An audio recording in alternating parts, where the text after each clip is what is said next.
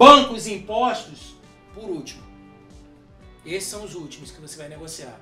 Tem negociação que eu já fiz com, com os meus clientes que cheguei a 93% de desconto sobre o valor da dívida nominal para banco. Ordene as contas na pasta vermelha para as dívidas dos menores valores para os maiores. Depois que você paga essas três principais, você pega a dos menores valores para os maiores, para você ter aquela sensação de conquista, sabe? Você está devendo aqui, você tem 10, 15, 20, 30, 40, 500 mil reais, vai pegando as menorzinhas. Não olha tudo não.